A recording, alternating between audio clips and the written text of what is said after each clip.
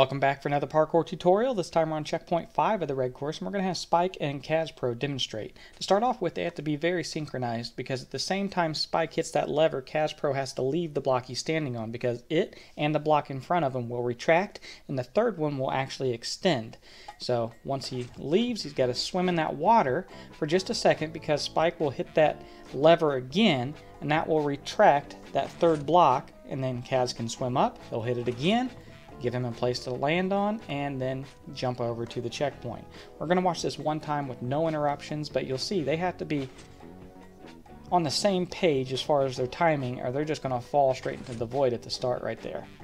But after you make it into the water, the rest of the checkpoint is pretty easy.